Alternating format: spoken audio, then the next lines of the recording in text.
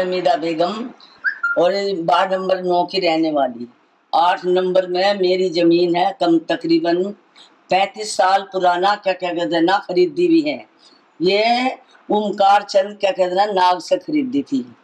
अब ये लोग आ रहे हैं कुछ इसमें वीरेंद्र ठाकुर हैं कुछ इसमें क्या कहते हैं ना रमेश ठाकुर मनोज ठाकुर देशराज देशराज ठाकुर ये अपना दावा कर रहे हैं कि ये हमारी ज़मीन है। ये हमारे हिस्से में आई है।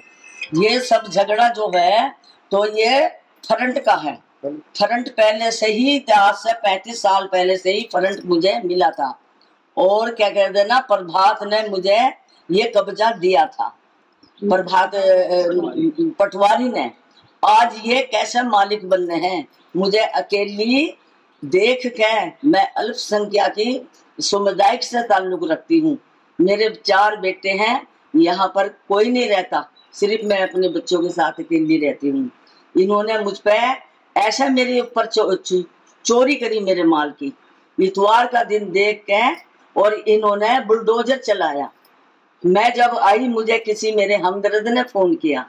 उसने क्या कह देना उस टाइम मैंने बुलडोजर रुकवाया। मैंने पुलिस को क्या कह देना फ़ोन किया। पुलिस आ गई। पुलिस ने ही बुलडोजर निकलवाया। बहुत अच्छा क्या क्या कहते हैं ना, काम किया। बोला कि अपने कागज़ ले आओ और थाने के अंदर आ जाओ। मैं अपने कागज़ ले गई, थाने के अंदर गई। और इन्होंने मेरी डेढ़ लाख की मशीन थी, पिंजर मशीन, जो रुई भरने की होती है। और तकरीबन उस जमाने में क्या क्या कहते ना, सैर एक लाख में तैयार हुआ था। आज उसकी कीमत बना बुनो के डेढ़ लाख बैठती है। बिजली का मीटर मेरे नाम पे लगा हुआ था। इन्होंने सब चीज़ को डैमेज किया है। पूरी दादागिरी मेरे ऊपर चलाई है पूरी। इन्होंने तो ये सोचा कि इनको खत्म कर दे हम इनको निकाल दे सुजानपुर से ये धमकी दी है। और म, मेरे जान माल की हिफाजत होनी चाहिए मेरे बच्चों की मेरे क्या कहना हर एक चीज़ की। और मेरी ज़मीन पे ये इनमें से को, कोई भी बंदा कदम नहीं रखे।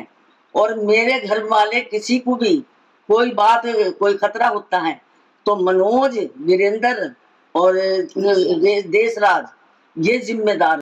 बार वाले दिन मम्मी मेरे पास आए हुए थे दस मिनट ही हुए थे ना आई तो किसी ने फ़ोन करके बताया कि आपकी ज़मीन में जो है जैसे भी काम कर रही है। तो मैं और मेरी बहन पैदल ही आए और मेरा भाई और मम्मी स्कूटी से वहाँ पहुँचे। तो वहाँ पर मनोज ठाकुर मौजूद था और देशराज मौजूद था। उनके साथ दो तीन लोग भी मौजूद थे। उनका हमें नाम उन्होंने वो जो है वहाँ पर जेसीबी से तोड़ फोड़ की हुई थी पूरा शेड तोड़ दिया था। वहाँ पिंजर मशीन थी लगी हुई थी वो तोड़ दी। सरकारी प्रॉपर्टी मीटर लगा हुआ था उसको भी डैमेज कर दिया। जब हमने उनसे सवाल जवाब किए तो वो हमें सुल्ला सुल्ला करके संबोधित करने लगे। बदतमीजी की हमारे साथ। मेरा भतीजा आके उसने देखा कि परिवार सारा घिरा हुआ भतीजा आके खड़ा हुआ तो उसको जो मारने के लिए चढ़ गया मनोज ठाकुर। हाँ जबकि मनोज ठाकुर की यहाँ कोई जगह कोई अधिकार नहीं पहुँचता कि भाई हमारी जगह पर आके वो तोड़ उन्होंने सर जब तोड़ फोड़ की जब तो हम वहाँ पर पहुँचे तो उन्होंने साथी जो सूचक शब्द जितने बोलने थे वो बोले उन्होंने। यहाँ तक कि हमें ये बोला कि सुन ले यहाँ रह नहीं सकते इनको निकालो बाहर। और मनोज ठाकुर ने यहाँ तक कहा कि वे तोड़ो तोड़ो। बोले मैं यहाँ खड़ा हूँ कोई कुछ नहीं कर सकता। हम्म, मेरे भतीजे को मनोज ठाकुर और देशराज मारने के लिए चढ़ गए। मैंने बीच में आके खड़े होकर उसको साइड किया कि भाई तू बेटा साइड हो जा। फिर उन्होंने जैसे जेसीबी चलाने की कोशिश की, मैं जेसीबी के आगे जाके खड़ी हो गई कि चलाओ, कैसे चलाओगे आप? और हम सर मनोज ठाकुर से यही सवाल करना चाहते हैं कि उनका कोई लेना देना नहीं था, उनकी जगह नहीं थी, उनका कोई ताल्लुक नहीं था तो उनको हमारी जगह पे आकर इतनी बदतमीजी करके, इतना तोड़ फोड़ कराने का कोई अधिकार नहीं था। सुरक्षा की मांग मुस्लिम समुदाय ने की ये तो मेरी जानकारी में नहीं है। लेकिन ये सही है कि 22 तारीख को वहाँ स्थानीय जो वासी है, वार्ड नंबर 9 सुजानपुर के, श्रीमती फहमीदा बेगम जो उम्र दराज एक महिला है, इनकी तरफ़ से थाने में शिकायत आई थी। कुछ स्थानीय लोग जो है, वहाँ पर उनका जो एक शेड था, टिन का, उसमें एक इनकी रुई पीजने की मशीन लगी थी। तो उसमें जेसीबी के माध्यम से उसको तोड़फोड़ करने की कोशिश की गई है। इसी शिकायत पर थाना में नियमों के मुताबिक एफ़ दर्ज की गई।